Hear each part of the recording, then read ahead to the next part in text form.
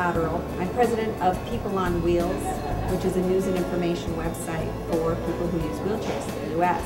And we were privileged to put on the Indiana Miss Wheelchair competition this year here at the Rehabilitation Hospital of Indiana. It has been a wonderful competition with five terrific uh, candidates and we were pleased to crown Miss Emily Munson as this year's 2009 Miss Wheelchair Indiana. Winner is